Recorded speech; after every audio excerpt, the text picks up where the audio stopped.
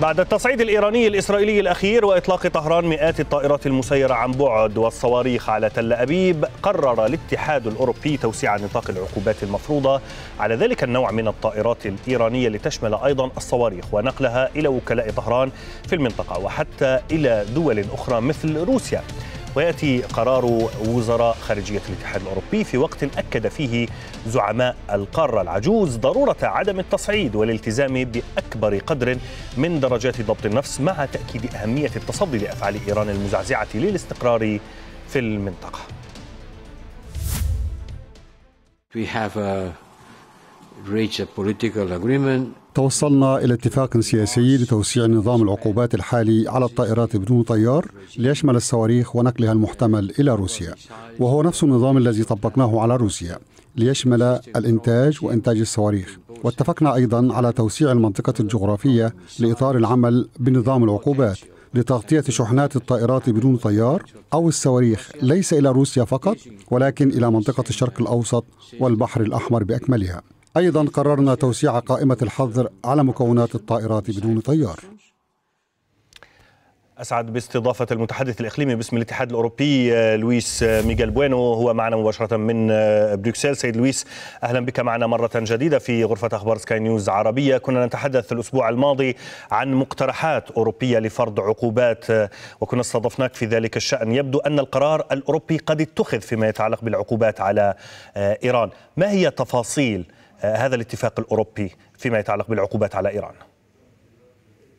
مساء الخير. شكرا جزيلا. مرة أخرى على الاستضافة وتحية لكل المشاهدين. صحيح يعني تم التواصل أول شيء في قمة الاتحاد الأوروبي التي عقدت في بروكسل قبل أقل من أسبوع بين قادة الأوروبيين حول هذا الموضوع. بالإضافة إلى الاتفاق اللي تم التواصل إليه بالأمس في أو اليوم حتى يعني بين وزراء الخارجية الأوروبيين. الآن نتحدث عن اتجاهين. كما قلنا الأسبوع الماضي الاتجاه الأول هو توسيع نطاق العقوبات المفروضه على إيران فيما يتعلق بالمسيرات. الآن نتحدث أيضا عن الصواريخ، يعني الصواريخ لم تكن موجودة ضمن هذا النظام من التدابير التقليدية خلينا نقول، الآن نتحدث أيضا عن كل المكونات اللي ممكن نصدرها نحن من الاتحاد الأوروبي الشركات أو الأفراد أو أي كيان أوروبي باتجاه إيران لإنتاج هذه الأسلحة. بالاضافة للاتجاه الثاني، الاتجاه الثاني هو يتعلق بالجغرافية هذه العقوبات. الآن لا نتحدث فقط عن تسويد من قبل إيران بأسلحة لروسيا أو يعني بالقتال في أوكرانيا وإنما أيضا بوكالات إيران في المنطقة، نتحدث عن اليمن ولبنان وسوريا والعراق وما إلى ذلك.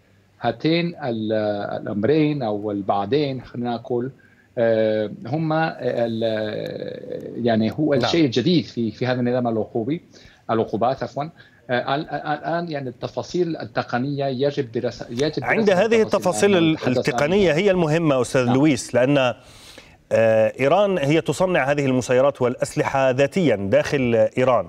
الحديث إذا كان العقوبات تستهدف المكونات مكونات المسيرات مثلا التي تأتي من الاتحاد الأوروبي هل هناك تفاصيل تقنية تأكيدات أوروبية بأنه بالفعل المسيرات والصواريخ والأسلحة الإيرانية فعلا فيها مكونات آتية من الاتحاد الأوروبي؟ بمعنى إذا تم حظرها فإن إيران لن تتمكن من صناعة هذه الطائرات؟ لا يعني معروف معروف ان هناك مكونات م. من الخارج صحيح يعني هناك لايران قدرة لإنتاج هذه الأسلحة محليا ولكن بنفس الوقت ندرك بأن هناك مكونات تأتي من الخارج سواء كان من دولة أوروبية أو دول أوروبية أو من خارج الاتحاد الأوروبي ولكن المفروض من قبل هذا النظام العقوبات الجديد إنه يعني هو منع منع هذه الإمكانية لأنه الإمكانية كانت موجودة بالفعل هذا اليوم اليوم ومن اليوم لم تكن موجودة هذه الإمكانية.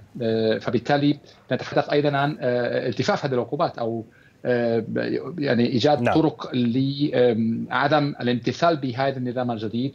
وبهذا الصدد لدينا علينا أن ننسى بان لدينا مبعوث خاص تم تعيينه في الاتحاد الأوروبي بهذا الموضوع يعني المسؤول عن هذا الموضوع السيد سوليفان وتم تعيينه في سياق روسيا وغزو روسيا لأوكرانيا لكن بطبيعة الحال هو أيضا مسؤول عن التفاف العقوبات نعم.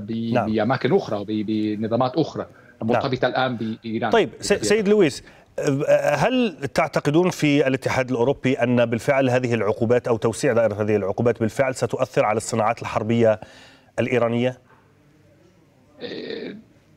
نحن يعني هذه زي ما قلنا سابقا هذه من الوسائل المتاحة للاتحاد الأوروبي. من ناحية لدينا علاقات دبلوماسية مع إيران علينا أن ننسى ذلك أيضا. وكذلك دول الخليج وعلى فكرة اليوم نتحدث عن أول مرة يكون لعقد هنا في في أوروبا في لوكسمبورغ منتدى رفيع مستوى مستوى الوزاري بين الدول الخليجية والاتحاد الأوروبي لمناقشة الأمن في المنطقة. فأعتقد إنه هذا القرار يأتي في زمن مناسب للغاية. هذا من ناحية يعني نحن لدينا علاقات دبلوماسية من ناحية أخرى لدينا لدينا أيضا أدوات مثل العقوبات وعلينا ان ننسى أيضا إنه إيران من الدول في العالم التي لديها أو تحت نظام عقوبات شديد للغاية من قبل الاتحاد الأوروبي نتحدث عن نتحدث عن عفوا مئات من الأشخاص مئات عن مئات نعم. الكيانات الإيرانية تحت هذا النظام منذ سنوات مرتبط بموضوع حقوق الإنسان، موضوع الانتشار النووي، موضوع الآن الدرونات والمسيرات والأسلحة. صحيح. الآن هل هل هي يعني مثل ما تفضلت يعني نتحدث عن فعالة هذه الأدوات. فعالية صحيح. هذه العقوبات. نعم. وأيضا سيد لويس آه نعم. آه اللافت أيضا في هذه العقوبات الأوروبية الجديدة أنه هي لا تستهدف فقط موضوع المكونات التي تدخل في صناعة المسيرات الإيرانية بل أيضا طرق نقل الأسلحة لأنه هذه نقطة أيضا مهمة. هل لديكم تفاصيل أكثر حول يعني هذه النقطة بالتحديد أنه كيف يمكن للاتحاد الأوروبي أن يمنع إيران من نقل أسلحته إلى مناطق أخرى؟ أي شركة أي فرد أي شخص منخرط بنقل هذه الأسلحة أوروبي أقصد يعني طبعا نتحدث عن الأوروبيين أو شركة أوروبية أو شخص أوروبي منخرط أو شارك في أي عملية نقل لهذه الأسلحة مباشرة سيكون تحت نظام عقوبات أوروبية مباشرة. فبالتالي نعم أعتقد انه هناك نوع ما يعني نوع من الفعالة لهذه العقوبات لأنه الاعلام موجود الآن طبعا داخل الاتحاد الأوروبي هناك آليات مختلفة لنقل هذه المعلومات للشركات والأفراد المنخرطين بالتجارة والاستثمار وما إلى ذلك فبالتالي هناك أيضا خلينا نقول نوع من الدرع فيما يتعلق بالتصدير أو أو أو, أو إرسال أي نوع من المكونات لإيران في هذا السياق. هذه العقوبات متى تدخل حيز التنفيذ سيد لويس؟ الآن طبعا نتحدث عن عملية قانونية العقوبات يجب أن نتحدث عن يعني العمل الجاري الجاري والحالي من قبل اللجن أو اللجن التقنية داخل المفوضيه الاتحاد الأوروبي نعم.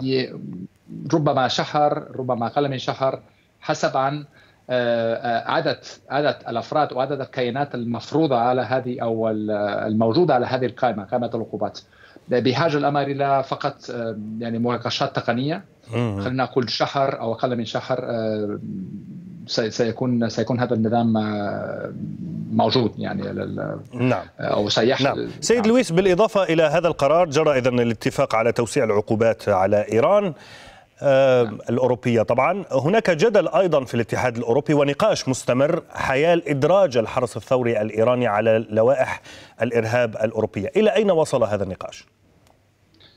نعم هذا النقاش مستمر منذ سنوات ليس جديد في هذا الأمر. حقيقة هناك دول أوروبية تريد تريد المضي قدما في هذا الملف بأسرع وقت ممكن وهناك دول أخرى تتردد.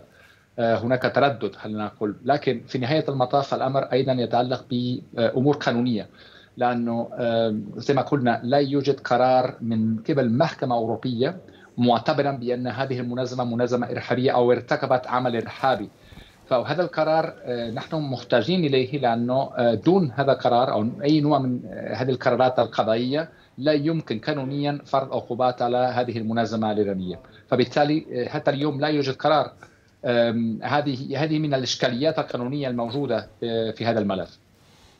نعم. أشكركم. شكرا جزيلا على كل هذه التوضيحات.